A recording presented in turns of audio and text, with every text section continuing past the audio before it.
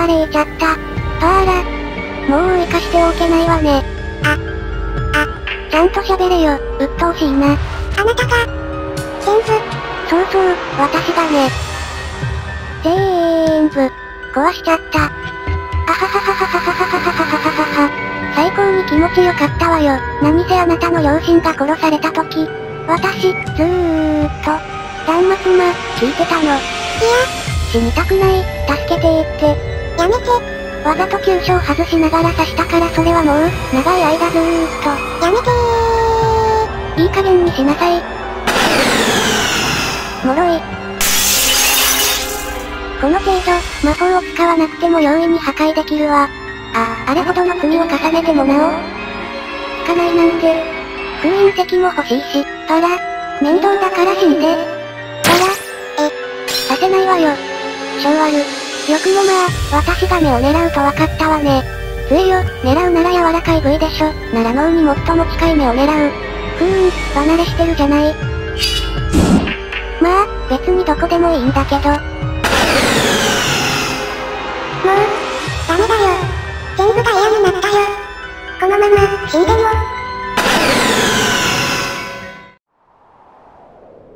不幸に落とされた、哀れな子よ。苦しみを抱いてきれ。回収するか。わからないわね。あなたの何がそこまでその出来損ないを守るのかしら。はあ、はあ、はあ、はあ、はあ。可能性のある子を見捨てるわけないでしょ。それに私はあなたの思い通りにことが進むのを心底気に入らない？パチュリー様。パチュリー。気をしっかり持ちなさい。パラスケ。今あなたの目の前にあなたが大事にしてきた人たちの仇がいる。今ここであなたが立ち上がって倒さないと、誰が家族や親族の人たちの無念を晴らすの。立て、立ち向かえ。つまずきそうなら私が隣にいる。苦しければ私が守る。心が折れそうなら私が支える。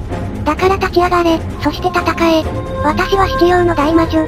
パチュリーのオレッジ。道を踏み外した七葉の後継者を今私が裁きを下す。パチュリー様。パチュリー様。私は、今ここであなたが立ち上がって倒さないと、誰が家族や親族の人たちの無念を晴らすの。そうですよね。私がやらないとお父さん、お母さん、みんなが報われないよね。でも私が旧決勝に勝てるのかな正直怖い。つまずきそうなら私が隣にいる。苦しければ私が守る。心が折れそうなら私が支える。そうだ、一人じゃない。パチュリー様がいるんだ。だから立ち上がれ、そして戦え。今の私はパチュリー様がいる。戦える。私も戦います。ええ、驚いた。あなたが七葉の魔法を多く生み出した大魔女、パチュリー、ノーレッジか。驚くついでにあなたのことを当ててあげましょうか。さっきの魔法で分かったわ、日曜の魔女。さすが、理解が早い。なんなら、も当てましょうか。と言っても日曜は特殊で2種類あるから、どっちかまではわからないけど。正義、もしくは治療、どっちかしらね。さあ、体感してみたらどうかしら。ほら、来たら。あら、あなたが来るのねパラ。私は知ってますからね、治療。何度も恩恵の扱い方を教えてくれるとき、何度も見た。治療をしなければあなたは恩恵は発動できない。なら、攻める。そう。私相手に時間を与えたのが間違いだったわね。七郎、インフィニットライトセーバー。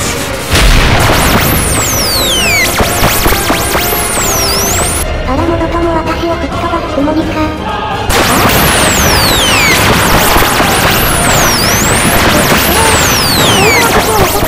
ああの娘の魔法を全部パチュリー様一人で操作してるんだ。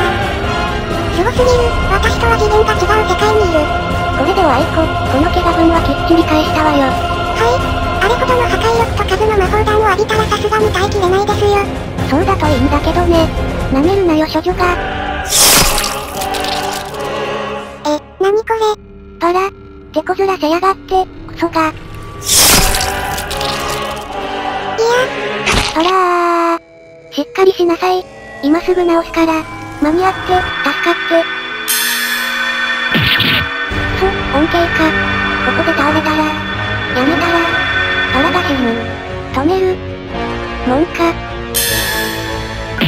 二度目。だと。まだ倒れないか、意外にタフじゃない。なんで連続で恩恵が。使える。恩恵は発動から1分は誤作動を防ぐために同じ相手には絶対に発動しないはず。そうね、でも連続でできた、理由がある。まさか、まさか、恩恵が2つ。正解、私は二重人格でね。さっきまでいたキルケは治療。そして今いる私、キリアは正義。そ、そ、わかったならさっさとそんな死にかけのボロ雑巾なんかほっといてしね。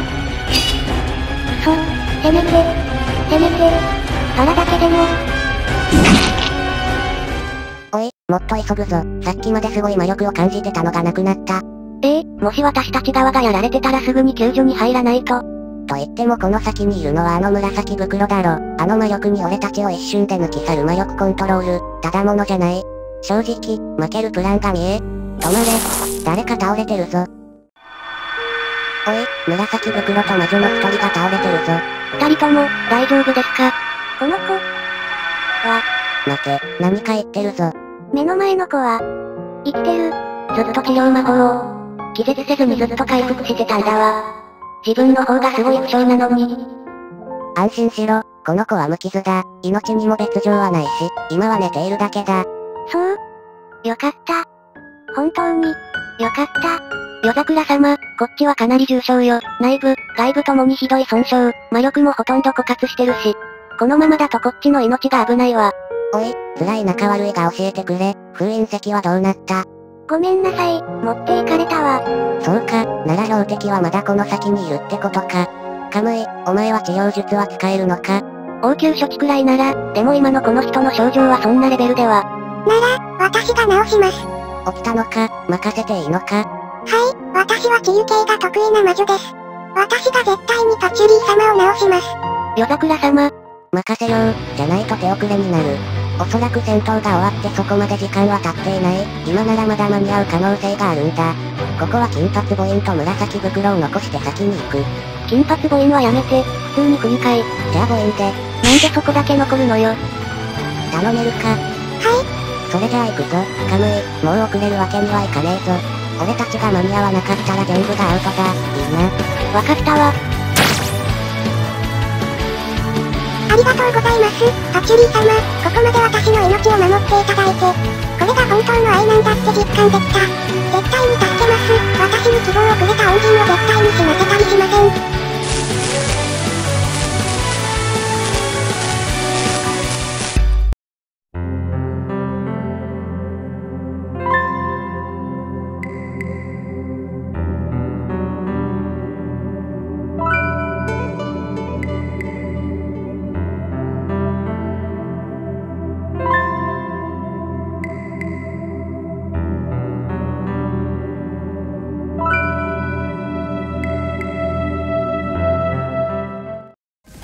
視聴ありがとうございました。